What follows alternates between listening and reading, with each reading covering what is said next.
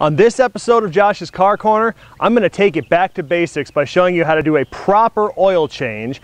And as an added bonus, I'm going to show you some hidden instruments that you've probably never seen before on the Pontiac GTO.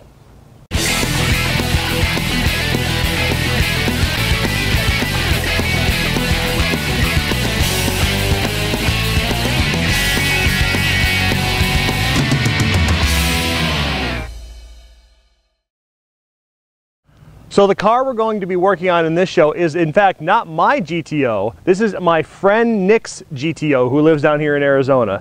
This thing's pretty wicked. He's got a truck LS block built up in this thing with a supercharger on top of it and it's all done up. It runs on E85. It's got a methanol system. It's got a water to water intercooler. It's good for about 700 wheel horsepower, you know, in case you need to get up a steep hill or something. And if you want to see a full feature on this car, let me know in the comment section. Maybe we can do that someday. But for today, we're just going to use it for our candidate to do an oil change. See, the reason I decided to do this episode is somebody recently uh, got me on a Facebook group called YouTube Auto Vlogs. Basically just a Facebook page for people who do car shows like I do to get together and show off the different shows they're doing and show what they're doing in the car community and just a place for people to exchange ideas and whatnot. And a guy put a video on there talking about how he went to one of those oil change places and they really did a bad job. They screwed up his car, uh, did some damage to it, and it brought up two questions to my mind. And the first question was, why would you ever think that a guy who sees dozens of cars every day would pay any kind of respect or attention to detail to your car? And secondly, if you're interested in cars, why aren't you changing your own oil? So I thought to myself, well, maybe it's just because people are afraid to do it because they've never done it before, they've never seen it done, they think it's going to be complicated, they don't want to screw their car up. So why not do an episode on how to change oil? So that's what we're going to do. So this is the uh, patient for today. We've already got it up in the air. It's cooled off and we're going to start in the front and just start the whole process and I'll show you everything that goes into changing the oil on your car. Okay, so the first thing we have to do on the GTO is take out the skid plate. If your car doesn't have one of these, some previous owner neglected to put it back in or thought it wasn't necessary, it's necessary. The last thing you would want is something to come up and hit your aluminum oil pan or your filter, and all of a sudden you have no oil in your engine. So if this isn't here, get one. BMR suspension may still sell them, or you can find them off of wrecked cars and yards.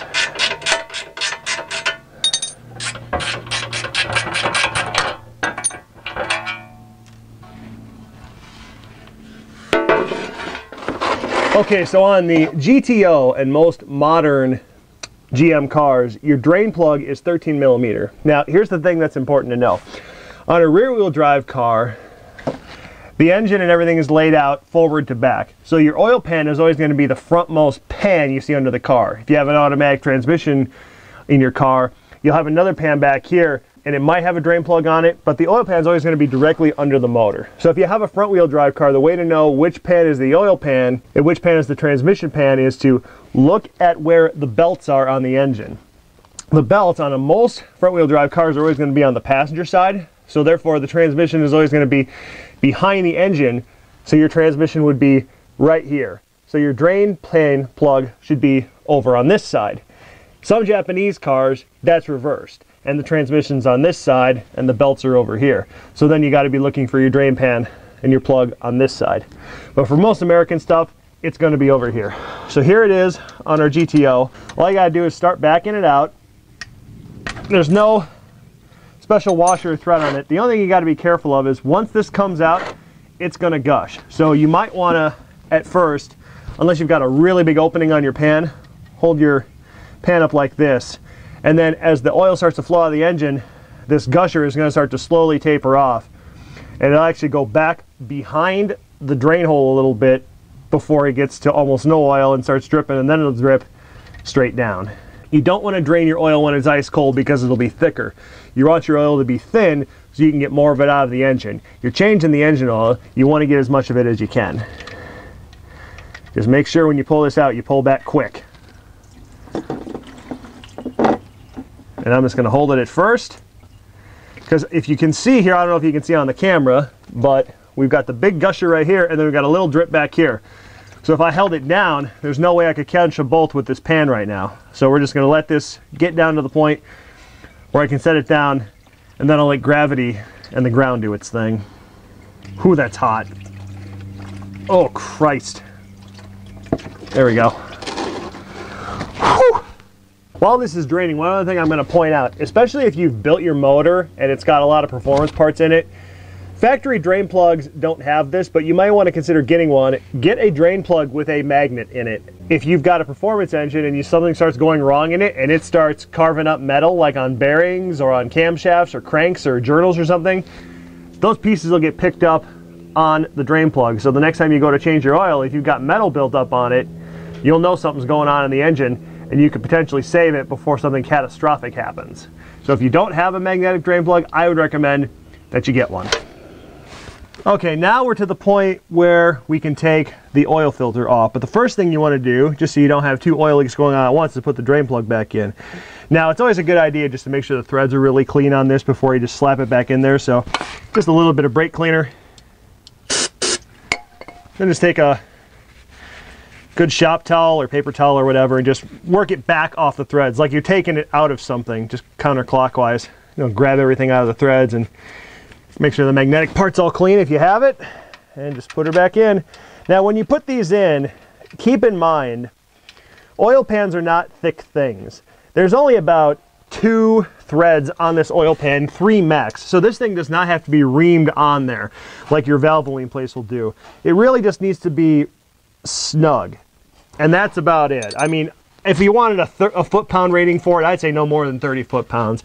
It really just needs to be snug. It's not going to back off. It's metal on metal. It's going to stay in there good. So now the next thing is going to be to get this filter off. We just want to reposition our drain pan. Now when you start to turn this thing, first thing that's going to happen is the oil is going to start to run down the sides of it. That's to be expected. But let that happen first because that'll give you a good idea where to set your pan so you don't drip oil everywhere. And it's going to run down for a little bit here, and I'm just going to put my hand here just to make sure it doesn't splatter all over the ground. But eventually this running will stop, and once it's got to the point where it's just kind of dripping, then you can take your filter off. Okay, now one thing I'll point out is on this car, fortunately, the oil filter is vertical. That's not always going to be the case. Sometimes they're mounted horizontally on the engine. Sometimes they're up underneath the subframe or the suspension mounted in a goofy way, and then oil is going to run all over the place. You can't avoid that. But the principle is the same. To just back it off until it's done with its big running, and then you can just slowly take it off. And this can get kind of messy if you're wearing nylon gloves because it's going to slip in your hand, but just take your time. Um, it's got to go a good amount of turns. And just like that. And then just turn it over, let it drain because it's still got a lot of oil in it. And then let it all drain out of the uh, oil filter assembly right there before you put a new one on. One thing I like to do while I'm in here is just also clean off the oil pan really good, get all the oil residue off it because if you have a leak, the next time you go to change your oil, if oil is built up in here a bunch again, you'll know it. And then you'll know you've got something else you want to trace down. Not a bad idea, just take the, wipe the excess oil off the mating surface here. Make sure that's nice and clean. Now, one other thing I want to point out before we put a new oil filter on here.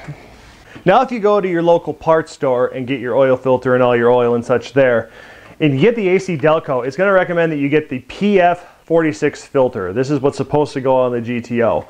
However, I discovered a few years ago that the truck LS motors, the 4.8s, the 5.3s, the 6.0s, whatnot, they use the PF61 oil filter. Now, the difference here, and the reason I like them, is the size. If you look, the PF61 is considerably bigger. In fact, what I have discovered is that you can have an extra quarter quart of oil in the engine. So if you use this filter, you can get about five and three quarter quarts in there if you just got an NA motor. But this, you can get a full six quarts in there and it's usually perfect on the dipstick when you're done. However, this is something else to consider because Nick just pointed this out to me. The PF46 has an anti-drain back valve built into it. The PF61 does not. Now, it's your choice whether the how important that is to you. If you really feel you need an anti-drainback valve in the oil filter, obviously GM doesn't think it's necessary for the trucks, or this would have one. So I don't think it's that big a deal. But for that little extra capacity and that little extra filtration material, I like the 61 over the 46. And you don't necessarily have to use the Delco. You can get the equivalent of the PF61 if you want something that's a little bit bigger. It clears the oil pan. It doesn't hang down lower than it, so it's in no danger of getting damaged or ripped off. So that's just what I prefer. So here's the other thing that's important before you put the oil filter on. Two things. One, never put these things on with a dry seal because these need to slip to get enough tension on them so when they make contact with the oil pan, they slip enough to get them tight. Otherwise, this rubber seal will catch and it might actually twist and it could get damaged trying to put it on. So take your brand new oil, just get a little bit on your finger, and just go around that seal and get it nice and wet. Important thing number two, pre-fill your new filter with oil. What's the reason for this? It's because when the oil pump grabs oil out of the pan and starts to pump it through the engine, the first place it goes is the filter. So if you put a brand new oil filter on the engine and it has no oil in it, then the first thing the pump has to do is fill this up with oil before it can get any oil to the engine. So that means you're going to have a few seconds there while this is getting filled up where you're starving the engine and there's no oil pressure. Now that might not be a big deal in the grand scheme of things, but your bottom end never likes having no pounds of oil pressure on its bearings and its crank journals and all that stuff. So it's always a good idea before you put your new oil filter on, fill it up. And you got to do this a couple times because you'll fill it, oil will soak into the filter material and it will go down and then you want to fill it up again. Now obviously if your filter mounts horizontally or at a goofy angle you can't get it completely full because it's going to spill out when you try to put it on. But having something in there is better than having nothing in there when you go to put it on the engine. Okay, so we're at the point now where we're putting it on. Now the thing is, you don't have to jam this on here as tight as you can. And the reason is, once this rubber seal heats up, it's gonna swell and it's gonna make this thing way tighter than when you put it on. So this is the same deal as your oil drain plug. It just has to be kind of snug.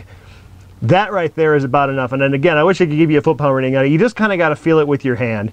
If it's to the point where you just can't ease it back off, you're probably tight enough. And a little bit of force, it starts to spin, you're probably right where you want to be. That's really all the tighter it needs to be. I promise you, when you go to take it off next time, you're going to have to put a lot more force on it than you had did do when you put it on. Okay, so we have got six quarts in the engine, but we're not going to fire this thing up yet. We're going to cap it off. I'm going to clean the dipstick off, and then I'm going to show you some really cool readouts on the factory gauge cluster that you probably never knew about but are really handy if you're ever trying to troubleshoot or see what's going on with your car. Okay, so you may not have known when you got your car, but there's actually a bunch of extra gauges you can get access to in the center cluster here when you go into what's called diagnostic mode. Now there's a little trick to getting into it. First thing you have to do is before you even turn the key on, you have to hold down mode and set. Then all you do is you turn the key to on, and when you turn the key to on, it'll say version and serial number to let you know you did it right, and then once it comes up, you'll be able to access a bunch of other gauges that you didn't know you had before. So all you got to do is hit mode to go through them. So there's your GM part number for your computer. There's your voltage at your uh, switch right now. Here's your battery voltage, 11.9 volts. Brake voltage, if I were to press the brake pedal, you would see voltage. Fuel calibration part number, I'm not sure what that is, but it gives you that. Petrol sender valve, that is a reading of how much fuel is in the tank out of 255. So there's 224 parts out of 255 in the fuel tank. Remaining fuel, 17 gallons. Instantaneous fuel economy, zero gallons per hour. If that were running, it would be just like this reading up here in the upper right that you normally get under the fuel gauge. Here's a, a really important one for some people, coolant temp. So you can actually see instead of the dummy gauge, which basically says the same thing between 190 and 230 degrees and doesn't move, now you can get an actual numerical readout of your coolant temp. Speed is also in there. Tachometer, if you want an accurate to the 10th or zero RPM reading. Parking lamps on or off, it'll tell you. Daytime running lamps on or off, it'll tell you. If there's trouble codes and you understand binary, you can read the trouble codes in here. And then you can go to this mode, which just makes it all freak out. But then push mode again and you're back to the beginning and cycling again. And if you want to get out of it, just hit the set button and you're back to normal. So if you ever want to get extra gauges out of your uh, dashboard, they are in there. There's just a secret to getting into them and now you know that secret. Okay, so we got the engine full of oil and everything is buttoned up. So what Nick's gonna do now is back the car off the ramps and we're gonna get it on the level surface and then that'll give it enough time to run and get the oil cycled and then we can get an accurate reading on the dipstick of how much oil we've got in the engine.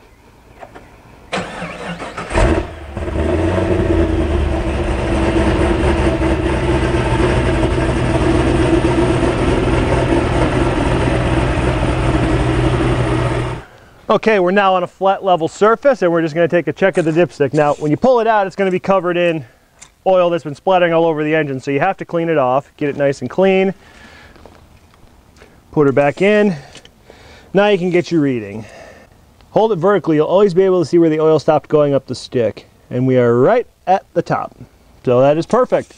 That's actually where you want it after it's been running. Because if it's uh, running and it's lower than that, you could actually add a little more. It can, after it's been sitting for a few hours, it can get over full. But as soon as you start it up again and oil starts cycling through the system, it'll get where it wants to be. So hopefully, after seeing this, you now have the confidence to change the oil in your own car. And I encourage you to do it because not only will you save yourself a ton of money doing it yourself, you can use better grade oils and filters than any lube shop will use.